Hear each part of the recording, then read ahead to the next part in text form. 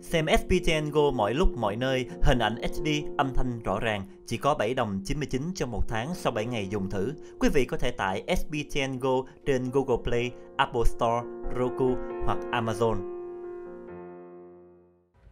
Một câu hỏi được đặt ra thưa quý vị đó là quốc gia nào hưởng lợi thật sự trong cuộc chiến tranh giữa thương mại giữa Mỹ Trung?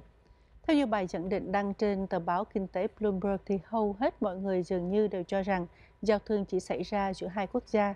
Nếu như hành động áp thuế làm giảm lượng nhập cảng của Hoa Kỳ từ Trung Cộng, thì có nhiều người, bao gồm cả Tổng thống Donald Trump, dường như cho rằng các ngành công nghiệp bị ảnh hưởng sẽ chuyển nhà máy sản xuất về lại Hoa Kỳ.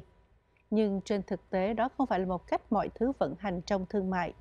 Chính vì vậy thì có nhiều nước khác cũng có thể sẽ thực sự thu lợi từ cuộc chiến tranh thương mại Mỹ-Trung.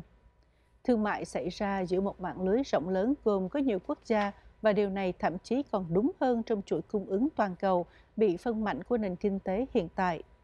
Các nhà kinh tế từ lâu đã hiểu rằng trong một mạng lưới như vậy thì một số quốc gia thực sự có thể được hưởng lợi từ việc suy giảm thương mại giữa các quốc gia khác,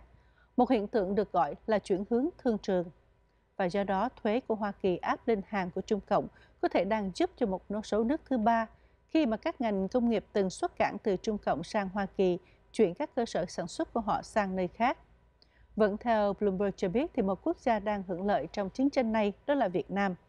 Với dân số tương đối, giá lao động rẻ và chính sách bao cấp của nhà cầm quyền cho ngành công nghiệp, thì Việt Nam có nhiều lợi thế mà Trung Cộng đã từng được hưởng hồi vào 20 năm trước. Vốn đầu tư trực tiếp từ nước ngoài vào Việt Nam đã tăng đều đặn trong nhiều năm khi mà các công ty đa quốc gia chuyển một số khâu sản xuất của họ ra khỏi Trung Cộng để tránh bị tăng chi phí nhanh chóng và để đa dạng hóa cơ sở sản xuất. Kinh tế gia Brad Stadler là tại Hội đồng quan hệ đối ngoại tin rằng cuộc chiến thương mại giữa Mỹ-Trung đã thúc đẩy tăng trưởng kinh tế của Việt Nam. Mặc dù thâm hụt thương mại tổng thể giữa Hoa Kỳ và Trung Cộng đã không tăng nhiều kể từ khi cuộc xung đột bắt đầu, nhập cảng từ Trung Cộng và xuất cảng sang Trung Cộng đang đều giảm, và khi mà hàng nhập cảng của Hoa Kỳ từ Trung Cộng giảm, thì những sản phẩm từ Việt Nam lại tăng vọt nhập vào Hoa Kỳ. Xem SPTN Go mọi lúc mọi nơi, hình ảnh HD, âm thanh rõ ràng, chỉ có 7 đồng 99 trong một tháng sau 7 ngày dùng thử. Quý vị có thể tải SPTN Go trên Google Play, Apple Store, Roku hoặc Amazon.